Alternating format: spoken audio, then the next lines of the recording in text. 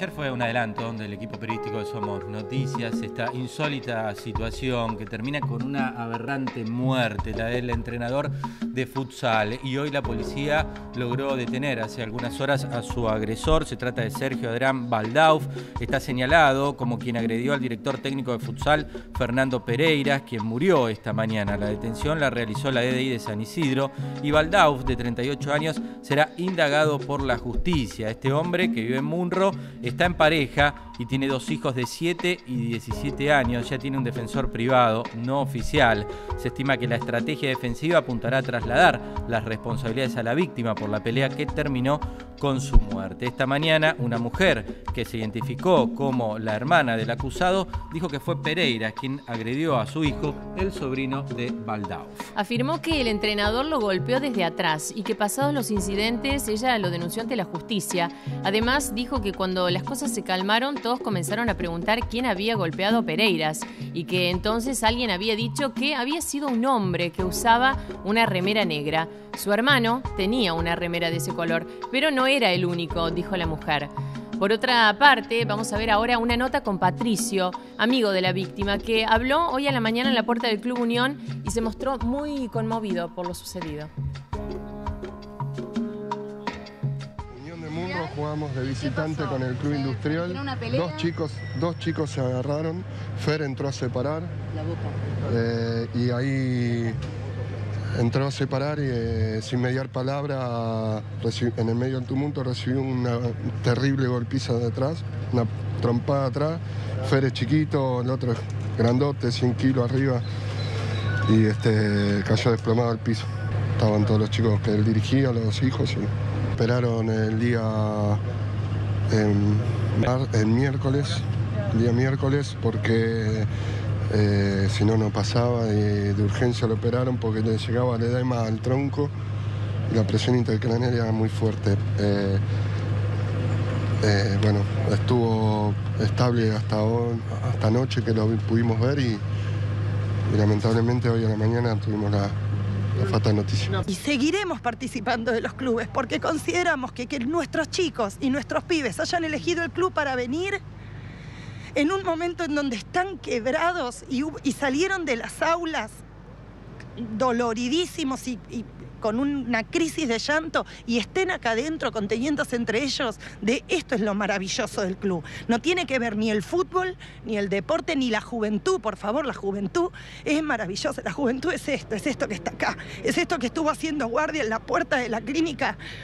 durante una semana. Nuestra juventud es maravillosa. Somos los grandes, nos tenemos que mirar los grandes. Vamos a ver un video que refleja el brutal momento, que no tiene explicación ni justificación. Cuando uno lo piensa y dice un partido de fútbol, ¿no? Una discusión, una pelea y termina en una muerte insólita, como tantos episodios que reflejan la violencia urbana que se vive por estas horas en la Argentina. Este era el partido, ¿eh? Partido eh, como tantos que hay, de este deporte tan sano, que hay que aclarar, como bien decía la vecina, y este lugar tan saludable que son los clubes del barrio las instituciones que sirven de eh, lugar para que los pibes no estén en la calle. Pero la locura empieza acá, en esta jugada, cuando allí hay un tumulto, eh, no se llega a ver mucho tampoco en la jugada porque es una jugada a distancia, pero ahí es donde empieza la pelea que termina con la agresión de Sergio Adrián Baldauf a Fernando Pereiras, que murió esta mañana, era entrenador del Club Unión de Munro, eh, y así se desencadenaba esta pelea fatal que no tiene explicación, que no tiene lógica, que refleja la intolerancia y la violencia que se vive en la Argentina y que pone nuevamente en escena la conducta de muchos padres al momento de acompañar, si es que realmente acompañan a sus hijos a jugar al fútbol. Aquí no hay que jugar ni el deporte ni las instituciones, sino las conductas de algunos enfermos, de algunas bestias, de algunos intolerantes, que termina con esto, una locura. Sí, recién decías, Mariano, no se alcanza a ver exactamente el momento, se ve desde lejos, porque claro, eh, la idea de la persona, me imagino, que está en la tribuna filmando un partido es mostrar alguna jugada después, grabar algún momento en el cual eh, participa algún hijo, algún sobrino, pero no esto no, que se imagina que puede, en la muerte de este hombre. Claro, es realmente insólito. Bueno, ahí están las imágenes. Y así como esto fue un anticipo de Somos Noticias ayer, nosotros contábamos esto y muchos medios nacionales tomaron hoy la noticia a partir de Somos Noticias. Eh, vamos a ver el club. Estas son imágenes del Club Unión de Munro, donde tantas veces hemos estado allí por distintas eh, cuestiones que hacen a la vida cotidiana, que hoy se vio sumergida en la tragedia, en otro escenario. Un club de barrio, un club de contención social, un club de deporte, un club de buenas noticias, eh, como conocemos habitualmente. Sede de un montón de eventos, de reuniones. Y esta imagen, imágenes exclusivas de Somos Noticias la categoría que entrenaba justamente eh, Fernando Pereiras, entrenador de la Unión de Munro.